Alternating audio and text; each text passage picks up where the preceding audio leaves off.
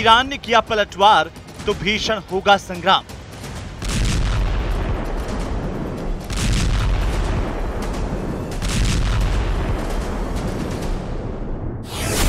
Israel की तैयारी, Iran पर पड़ेगी भारी।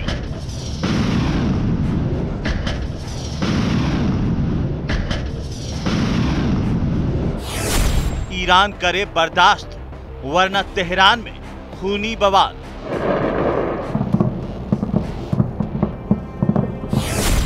ईरान की बैलिस्टिक मिसाइलों को मिलेगा करारा जवाब।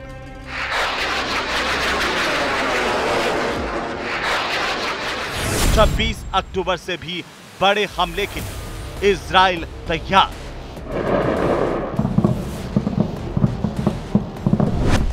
ईरान इसराइल के बीच तूफ़ान के पहले की शांति का मंजर है। हमले से खौलता ईरान, पलटवार का ज़बरदस्त प्लेन रेडी कर रहा है।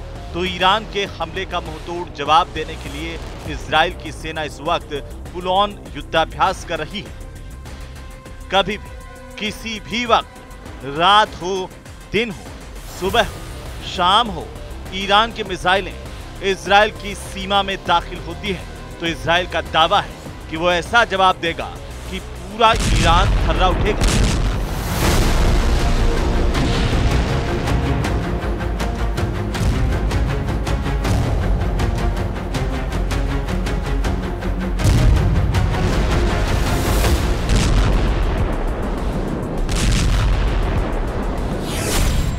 सवाल है इसराइल का पलटवार का क्या है प्लान ईरान पर किन हथियारों से हमला करेगा इसराइल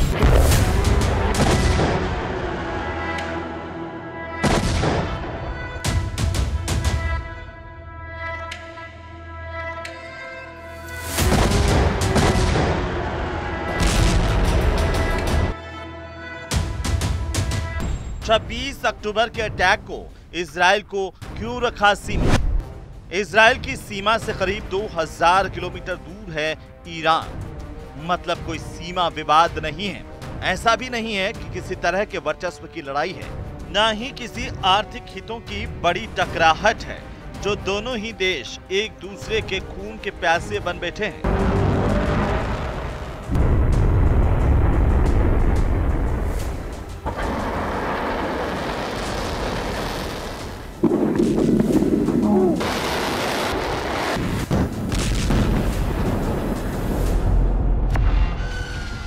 सवाल है तो फिर क्यों? कभी ईरान इसराइल को दहला रहा है तो कभी इसराइल ईरान के खिलाफ मिसाइलें दाग रहा है। इस सवाल का जवाब दोनों देशों के रिश्तों के इतिहास के पन्नों में अंकित है।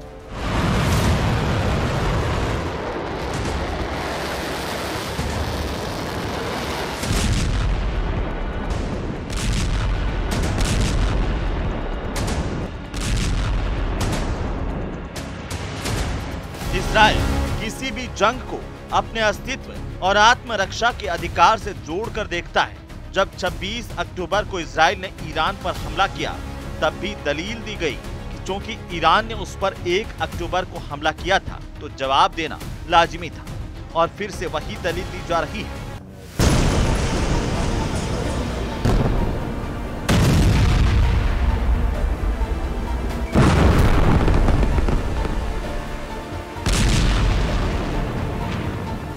ईरान के पलटवार की सूरत में इसराइल का जवाब लाजमी होगा।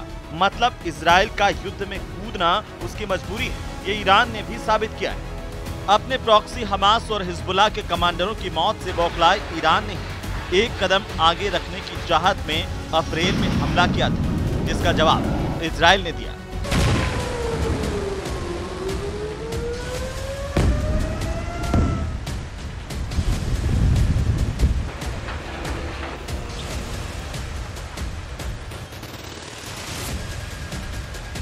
इसके बाद हिजबुल्ला चीफ नसरल्लाह के मारे जाने के चार दिनों बाद ईरान ने इसराइल पर हमला कर दिया, जिसका जवाब 25 दिनों बाद फिर इसराइल ने दिया। कि आज अब ईरान की बारी है। वैसे इसराइल ने जिस तरीके से ईरान को टारगेट किया, उससे लगता नहीं है कि वो युद्ध छेड़ना चाहता है। इसराइल के पास मौका था कि वो ईरान के परमाणु ठिकानों पर निशाना साधता, ईरान की तेल रिफाइनरियों को उड़ा देता, लेकिन इसराइल ने ये सब नहीं किया। आबादी वाले इलाकों को भी बचाकर हमला किया। लेकिन हमला तो हमला है। ईरान ने इसे अपनी संप्रभुता पर हमला माना है। लिहाजा माना जा रहा है कि ईरान पलटवार पक्का करेगा और जब पलटवार तय है तो इसराइल का जवाब भी तय ब्यूरो रिपोर्ट, न्यूज़ 18 राजस्थान।